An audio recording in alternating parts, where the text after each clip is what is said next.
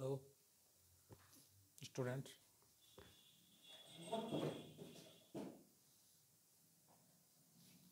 चलिए। आज एक नया टॉपिक लेकर हम लोग आए हैं ब्लड को लेकर। ह्यूमन ब्लड एक टॉपिक है। ह्यूमन ब्लड में क्या क्या टॉपिक हम लोग कवर करेंगे? ह्यूमन ब्लड के अध्ययन को कहा जाता है सेरोलॉजी या इसी को एक वर्ड कहते हैं हीमेटोलॉजी इसमें पहला पॉइंट हम बोल रहे हैं, रक्त एक संयोजी उत्तक है। संयोजी उत्तक का मतलब हुआ एक ऐसा टिश्यू जो हमारे पूरे बॉडी को कनेक्ट करता है, एक जोड़ कर रखता है। जोड़ कर रखने वाले उत्तक को ही कहा जाता है संयोजी उत्तक। दूसरा पॉइंट बोले हैं कि ब्लड एक प्रकार का प्राकृतिक कोलाइड है। कोलाइड क्या है? आप केमिस्ट्री में देख चुके हैं। कोलाइड मतलब क्या हुआ? ये सीधा सा एग्ज़ाम्पल कर सकते हैं। एक ऐसा पदार्थ जिसको छानने के पश्चात आप उसको पूरा नहीं छान सकते हैं। कुछ, जैसे कि छन्ना में जैसे चाय छानते हैं तो चाय पत्ती रह जाता है, दूध छानते हैं तो छाली रह जाता है तो पूरा पूरी नहीं छन के बाहर जाएगा, ऐसे को कोलाइड कहा जाता है। तो यह एक प्रकार का नेचुरल कोलाइड्स है, प्राकृतिक कोलाइड्स है। आगे पढ़ते हैं नेक्स्ट पॉइंट की तरफ़।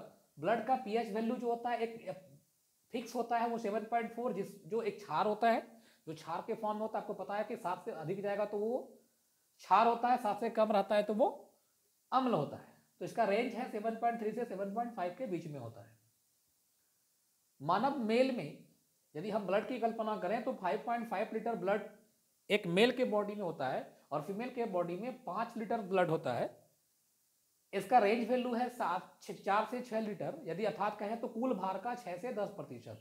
यदि कोई व्यक्ति का वेट यदि हम कहेंगे कि 100 किलो मतलब एक कुंटल व्यक्ति है तो एक कुंटल का यदि हम छः प्रतिशत निकालेंगे तो मेरा निकलेगा छः लीटर। मतलब छः लीटर से लेकर दस लीटर तक उसके बॉडी में ब्लड रहता है। आगे हम लोग देखते हैं, महिलाओं में ब्लड कम होता है, पुरुषों की अपेक्षा, पुरुषों में क्या होता है, ज़्यादा ब्लड होता है, महिलाओं में कम होता है। इसके पीछे कारण क्या है? कुछ लोग तो अलग अलग बात बोलते हैं।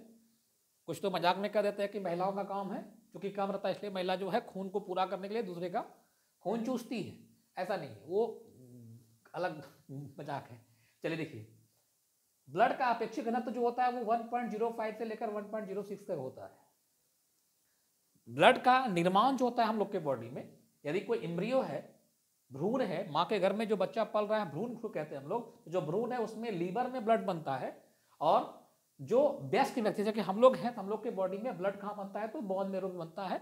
बोन मेरो क्या रहता है? हड्डी के बीच में खोखली जालीदार संरचना होती है, उस जालीदार संरचना को हम लोग क्या कहते हैं? बोन मेरो कहते हैं। उसके बाद अगला पॉइंट पे आते हैं कि ब्लड जो होता है ब्लड जमा हमारे बॉडी में कहाँ रहता है? स्टोर का मतलब होता है जमा रहना जमा हमारे बॉडी में ब्लड कहाँ रहता है?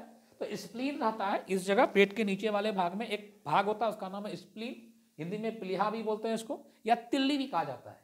तो ब्लड जो होता है वो स्प्लीन में रहता है, इसीलिए इसको स्प्लीन को हम लोग जो है ब्लड बैंक भी कहते हैं और यार्ड भी कहते हैं। मतलब ब्लड जा करके वहाँ जमा रहता है, वो कब्र भी कहते हैं। जो भी सेल्स डैमेज होता है, जो भी सेल्स मरता है तो वो जा करके उसी में जा करके जमा रहता है।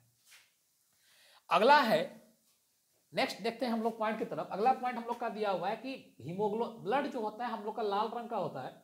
लाल क्यों होता है? क्योंकि उसमें एक लाल रंग का वर्णक होता है कलर होता है, उसका नाम है हीमोग्लोबिन हीमोग्लोबिन जो होता है मेल में पंद्रह पॉइंट आठ ग्राम प्रतिशत होता है, जबकि फीमेल में तेरह पॉइंट सात ग्राम होता है। हीमोग्लोबिन जनरली बनता किसके द्वारा है? तो आयरन के द्वारा बनता है एफ़ के द्वारा रहता है। तो महिलाओं में आयरन कम होता है। पुरुषों में आयरन ज़्यादा होता है, यही कारण है कि आयरन चूँकि क्या है, वो लौह तत्व है, एक आयरन है, जिस कारण की पुरुषों का जो शरीर होता है, वो हार्ड होता है और महिलाओं का शरीर जो होता है, वो कोमल होता है। यदि कोई पुरुष किसी को मारता है तो उसका चोट अधिक लगेगा और महिला मारती है तो चोट कम लगेगा, क्योंकि महिला के बॉडी में आयरन की कमी है, उसका बॉडी कोमल है। नॉर्मल रेंज है कि महिलाओं में देखिएगा तो चौदह ग्राम रिपोर्टिंग में कभी कभी आता है और तेरह ग्राम आता है पर डायलोशन में। ब्लड के कंपोनेंट को यदि हम देखने की कोशिश करें तो ब्लड मुख्यतः दो प्रकार के, यदि 100 परसेंट ब्लड का कंपोनेंट हम लोग देखते हैं तो ब्लड मुख्यतः दो प्रकार के कंपोनेंट से मिलकर बनी होती है। एक होता है हमारा ब्लड प्लाज्मा जो 55 प्रतिशत रहता है, और एक होता है हमारा ब्लड सेल्स जो 45 प्रतिशत रहता है। ब्लड सेल्स के बारे में नेक्स्ट क्लास में हम लोग देखेंगे, उसमें तीन प्रकार का सेल होता है, और भी कई सेल्स हैं, आरबीसी है डब्ल्यूबीसी और प्लेटलेट्स है नेक्स्ट है कि ब्लड जो है हमारे बॉडी में एक रास्ते के द्वारा, एक नली के द्वारा क्या होता है कि हमारे बॉडी में दौड़ता है, जिसको हम लोग ब्लड का परिवहन या फिर परिसंचरण कहते हैं, जिसके बारे में एक वैज्ञानिक तो इसका नाम था विलियम हार्वे। विलियम हार्वे ने ब्लड के परिसंचरण की खोज की थी, परिसंचरण के बारे में बताया था, इसके बारे में बाद में हम लोग ज़िक्र करेंगे। ब्लड के कार्य को यदि हम लोग देखते हैं ब्लड का कार्य होता है हमारे बॉडी का ताप को यह नियंत्रित करता है।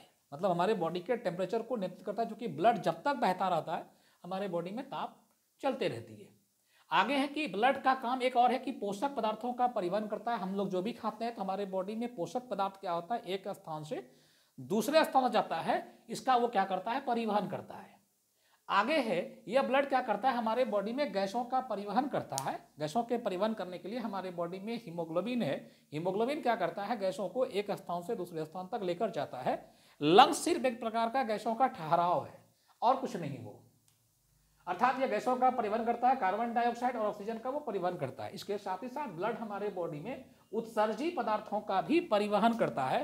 तो ये कुछ हमारे ब्लड के बेसिक टर्म थे, बेसिक पॉइंट्स थे जो कि कंपटीशन वगैरह में भी आता है और इंटर्न के, इंटर अलेवन ट्वेल्व के छात्रों के लिए भी, या फिर हम कल भी बताए थे नेक्स्ट क्लास, पहले वाले क्लास में कि जीएस वगैरह जो तैयारी कर रहे हैं कंपटीशन वगैरह का, उसके लिए भी ये ज़्यादा पॉइंट जो है कभी कभी कुछ ना कुछ सेफ़ पॉइंट आपका आते रहता है। तो इसको एक बार नोट कर लीजिए। चलिए धन्यवाद।